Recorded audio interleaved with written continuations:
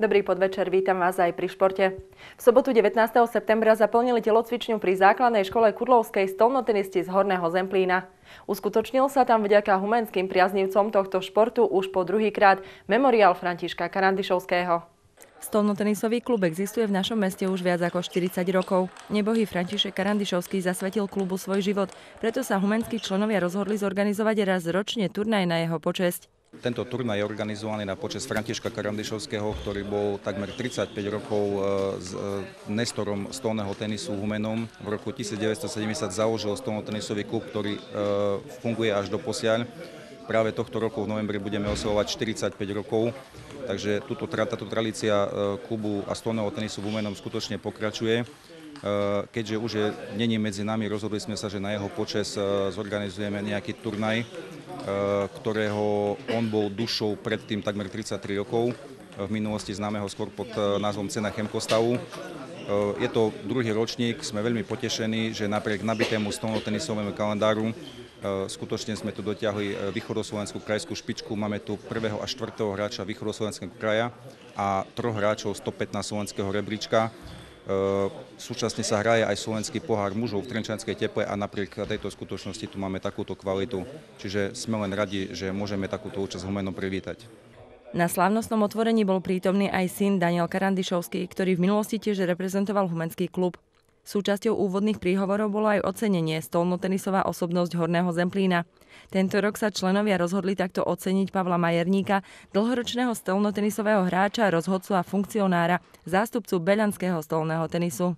Tak, ako som už povedal, je to chvalihodné a pekné od funkcionárov a hráčov Humeného, že pamätajú a sledujú ten stolný tenis aj v minulosti No tak uh, jednak aj... Čo to pre vás znamená vôbec? Tak jednak ocenenie mojej práce, práce v obci, pretože sa pokračuje v mojich šľapajách prakticky. Aj dnes hrajú tretiu ligu, hrali aj druhú. Chlapci máme žiakov. No a že je to pri takej príležitosti, kde kolega dlhé roky sme boli vo výbore s Toného tenisu s Ferom Karandišovským, tak je to taká ďalšia taká ocenie, podsta naozaj. Po slávnostnom otvorení obsadili hráči celkovo 7 stolov a následne odštartovali zápas v dvojhre a v štvorhre. Súťažilo sa o hodnotné vecné ceny a finančnú hotovosť.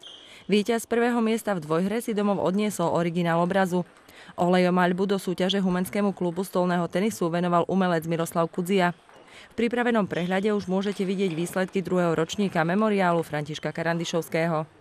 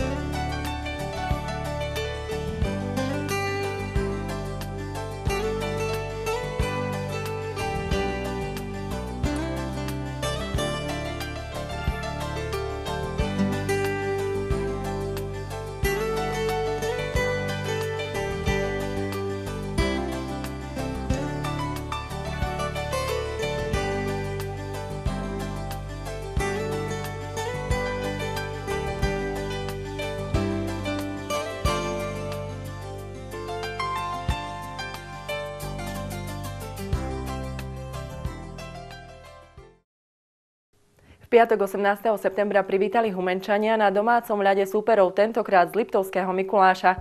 Povzbudiť hráčov prišlo opäť viac ako 600 divákov. Prvá tretina stretnutia ponúkla divákom určite napínavé chvíle. Aj napriek miernej streleckej prevahe domácich sa Humenčanom nepodarilo v prvej časti zápasu skórovať. Už v úvode 4. minúty sa súperom podarilo prekonať Erika Kveťa v bránke domácich a vsietiť prvý gól. Ani nie 3 minúty pred koncom tretiny využili hostia presilovku vo svoj prospech a poslali humenských hokejistov do šatne s dvoma inkasovanými gólmi a jedným zranením Pavla Segľu. Nešťastná strela spôsobila Pavlovi nakoniec našťastie iba ľahké zranenia v oblasti tváre. Druhú tretinu mali v úvode vo svojich rukách jednoznačne domáci a v 5. minúte dostal po prvýkrát puk do bránky hostí Boris Krempaský. Aj keď príležitosti mali domáci mnoho kvôli chybám súperov, nedokázali už premeniť šancu ani počas takmer 4-minútovej presilovky. Na poslednú tretinu nastúpili na ľad s jednogólovým náskokom hostia. Liptáci zmobilizovali všetky svoje sily a za necelých 6 minút upravili stav zápasu na 1-4. Trojbodový náskok zvyšoval nervozitu domácich, ktorí sa však nevzdávali do poslednej minúty. O jeden gól znížil náskok v 49. minúte Erik Renčok a už o 4 minúty neskôr vďaka presilovej hre 5 na troch upravil Marek Pacalaj stav na 3-4. I keď sa Humenčania snažili aj v posledných minútach zo všetkých síl na víťazstvo v tomto zápase nedosiahli. Vo štvrtok 17. septembra odohrali mladí futbalisti na ihrisku pri Mline pravidelný turnaj Východoslovenského futbalového zväzu v kategóriách U10 a U11. Na futbalovom turnaji sa zúčastnilo približne 170 mladých futbalistov a futbalistiek. Humenčanom sa pod vedením trénerov Jozefa Štafuru a Jozefa Valkúčáka darilo výborne. Svedčí o tom hlavne fakt, že vďaka bezkonkurenčnej defenzíve oboch humenských výberov dostali tým u 11 1 gól a tým u 10 2 góly, čo im zabezpečilo prvé a druhé miesto. Vzhľadom na skutočnosť, že Humenská U10 si zahrala turnaj takéhoto formátu po prvýkrát, umiestnenie na druhom mieste je chválihodné. Ako už môžete vidieť v prehľade, futbalisti v kategórii U11 nenašli na turnaji premožiteľa a právom si vyslúžili najvyššie umiestnenie. Vranovský tým podľahol Humenčanom 2-0, Svidník 9-1, Trebišov 5-0 a Snina 1-0. Stropkovčania na zápas nenastúpili, takže prehrali kontumačne rovnako aj v prípade u desiatky. V kategórii mladších sa Humenčanom podarilo poraziť iba súperov z Trebišova. Hostia zo Svidníka naopak porazili domácich 0-1. S Vranovčanmi a Sninčanmi skončili zápasy nerozhodne 0-0. Aj v humenskom tenise sme zaznamenali ďalší úspech. V sobotu 19. septembra sa uskutočnil v Banskej Bystrici záverečný celoslovenský turnaj vekovej kategórie do 10 rokov. Prihlásených bolo 37 detí z celého Slovenska, medzi nimi aj reprezentant humenského klubu Sebastián Minich, ktorý chcel nadviazať na augustové prvenstvo v Košiciach. To sa mu aj podarilo a domov si opäť priviezol zlato. Sobotu 19. septembra odohrali zápas aj futbalisti FK Humené proti TJ Šimonka Čierne nad Topľou. Spomínaný zápas bol 7. kolom 5. Vyhorlacko-Dukelskej ligy. Pri stretnutí Goliáša s Trpaslíkom očakávali fanúšikovia jednoznačné víťazstvo domácich. Zápas bol nakoniec pre FK veľkým trápením. Aj keď sa hralo väčšinou na polovici hostí, domáci v bielých dresoch mali niekoľko pekných šancí ako túto v 4. minúte, keď Peter Petričko preveril reflexy hostujúceho Michala Jenču. V 40. minúte po zahratom rohu Miloš Mikloš trafil pravú žerť. Keďže efektivita bola nulová, tak aj prvý polčas skončil bez gólov. Aj v druhom polčase, podobne ako v prvom, hostia stavili na defenzívu a Humenčania si len ťažko vypracovávali šance.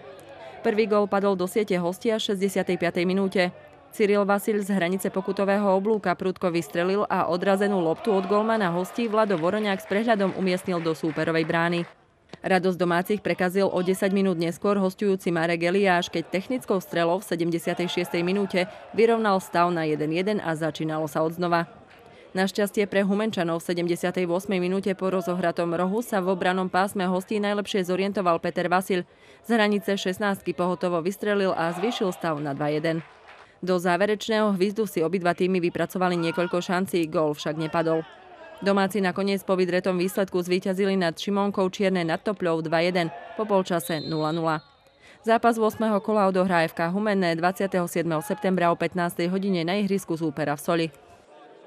Po minuloročnom úspešnom prvom ročníku bežeckej súťaže Most Cup sa organizátori rozhodli využiť príjemné jesenné počasie aj tento rok a usporiadať druhý ročník súťaže pre všetky vekové kategórie. Prvý ročník súťaže prilákal mnoho priaznivcov behu. Organizátori sa preto bez váhania pustili do ďalšieho ročníka. Minulý rok sme mali prvý ročník Most Cupu. E, hodnotíme to veľmi dobre. E, prišlo okolo 90 účastníkov a ďalších 300 bolo návštevníkov, takže sme sa rozhodli aj toho roku 27. E, septembra, teraz v nedeľu, uskutočniť druhý ročník Most Cupu, behu popri troch mostoch. Pripravených je aj zo pár noviniek a hodnotné motivačné ceny. Beh sa uskutoční vlastne popri troch mostoch od Valaškovského cez Nínsky k Lackovskému mostu. Novinkou tohto roku bude, budú cyklistické preteky v spolupráci s Jantex týmom, ktoré sa uskutočnia o jednej hodine pred bežeckými pretekmi. Takže pozývame všetkých v nedeľu na druhý ročník Most Cupu.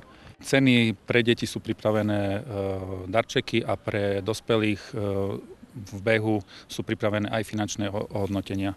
Zároveň tu bude sprievodný program, bude tu vystúpenie leteckých modelárov na štadióne základnej školy Dargovských.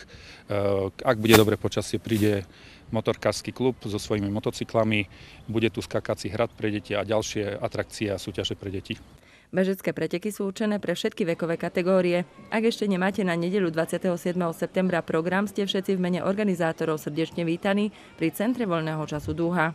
Organizátorom podujatia je občianske združenie Aura, prvý atletický klub e, Humene, e, Jantex Team a e, okresná organizácia strany Mostit a mediálny, mediálnym partnerom e, je Humenská televízia.